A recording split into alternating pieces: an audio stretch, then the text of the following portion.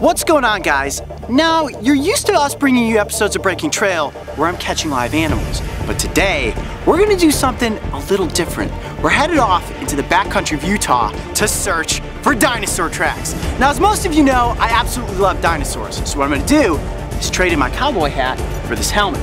As we ride on these awesome Polaris RZRs out into the rough and rugged terrain to search out these tracks. All right, hop in guys! This is gonna be awesome.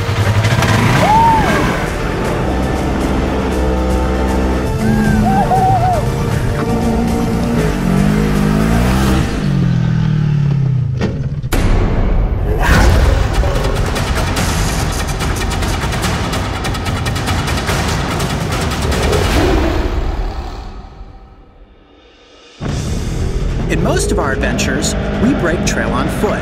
However, sometimes the best way to cover many miles of distance quickly is by way of all-terrain vehicle. Today the crew and I are in Hurricane, Utah, one of the best places in the West to find and get close to dinosaur tracks. This is awesome! We finally made it! Let's head back in there and find the tracks. Woo!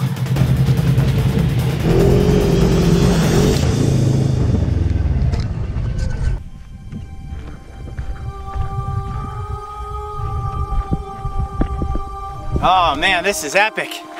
Just this backdrop, I mean, you can't beat this. Ah, it is hot, it is dusty. Look at this, check this out. Can you see all the dust coming off of me? Oh yeah. Whew. It is, what do you think it is? About 100 degrees out here right now? At least. At least 100 degrees. And look at how bone dry this is. Check this out.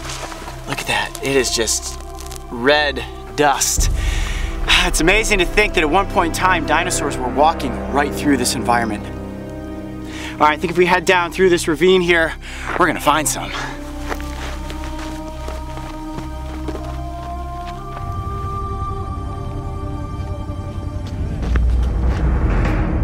Wow, check that out.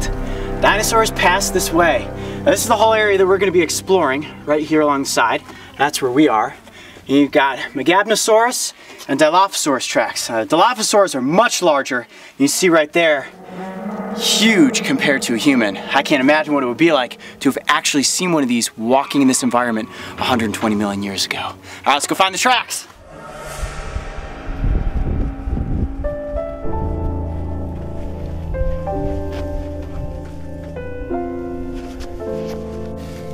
And even though this is sloped down at one point in time before water washed through here and wore the rock away, this could have been flatter. So I'm always looking at an angle for any indentation in the rock has the potential to be a track.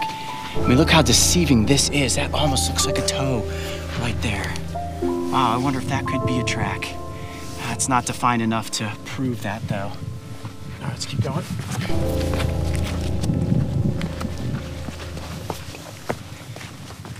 This is actually great substrate right here. Check this out. Look at this, Mark. Look at this. We just found our first set of dinosaur tracks. This is Megapnosaurus right here, a small, upright walking theropod, and you can see where this animal moved right through the environment. Look at this. I'm gonna step right next to the tracks. Look at that stride. Wow. That's so cool, walking right alongside dinosaurs. You ever think you'd be able to do that, Mark? No.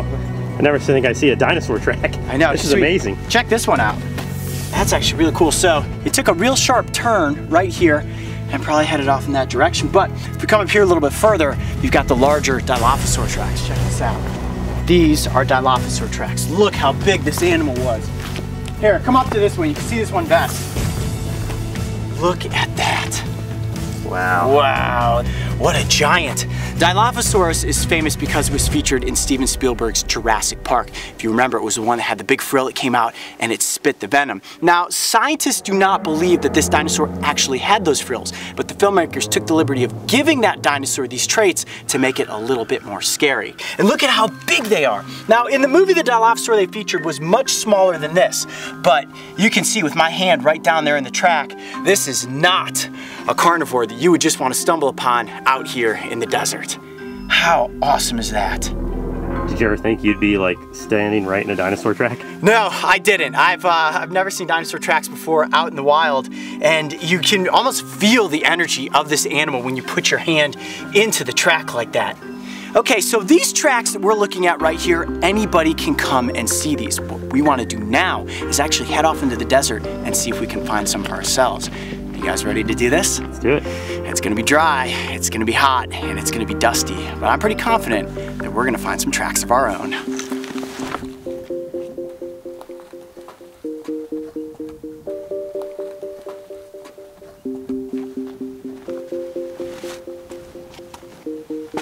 There's a hole. Oh, check this out. This could be a track. Yes! Chance, come up here. Look at this. You got one here, one here. Wow! I think this is it. I think these are actual dinosaur tracks. This one right here is almost perfect. Bring your camera up. Come here, come here, come here, come here. Look at this. Look over my shoulder. Look at that. Three distinct toe marks. All right, I'm gonna blow the sand out of me. Ready? Yes! There's no question about it. That is an upright walking theropod, most likely a carnivore, and guessing on the size of these tracks, I would say it's probably four feet tall and close to 11 feet in length. Not an animal that you would want to run into out here 65 million years ago. Holy cow, this is exciting, dude. High five. I cannot Yeah. believe we actually came across tracks. And look at this, you've got one here, and look at that stride. Here to here, shorter there, planted and then off and who knows, I mean this rock could have broken apart millions of years ago, but you've got one right here and one right there. And oh my gosh, we actually came across dinosaur tracks. Now this was objective number one, find dinosaur tracks. But we found them. And the good news is that we still have a couple hours out here in the desert and we have those razors. So objective number two is gonna be to head to the sand dunes and really have some fun. I hope you guys are ready, because this is gonna be awesome. Yeah, come on in, come on, guys. Woo! What up? What'd you think, man? We brought you out in the field. I know, this is freaking awesome. I mean, dude, This could is you pick killer. a better trip to come along with? Jeez. Hell yeah, yeah. My the walls in the editing bay do not look like these mountains. it is amazing out here.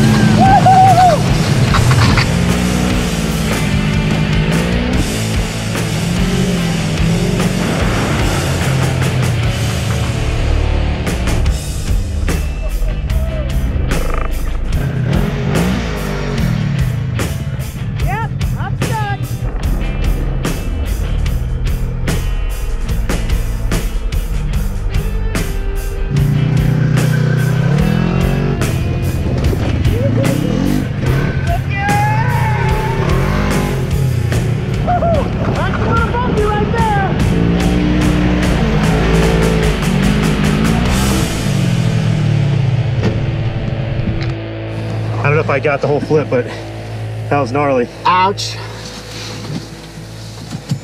You alright? Well, guys, rule number one if you flip your razor, it's always to keep your arms inside. Thankfully, I'm walking away from yet another one. Oh, man. I was barely even turning. I don't know how that thing flipped.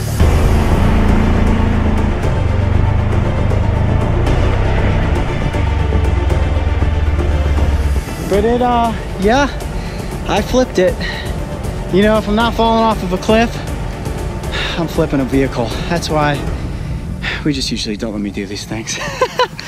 the good lesson here is that if you do roll a machine like this, you just hold on to the steering wheel, keep your hands inside. You're always wearing your seatbelt, always wearing the helmet. Uh, so far, I'm walking away from this one completely unscathed. Uh, my back and neck might be a little sore tomorrow, but no broken bones, no stitches.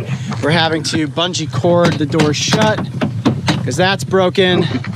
I cracked the top of it, and unfortunately, I may have just bought the Brave Wilderness team a razor because this is going to be an expensive one to fix.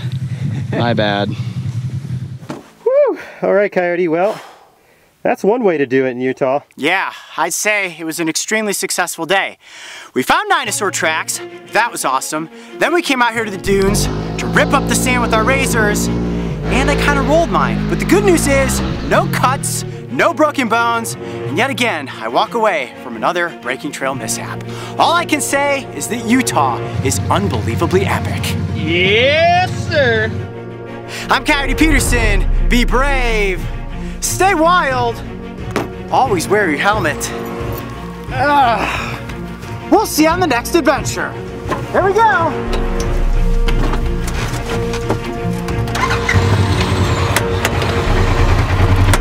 Eh, buckle up.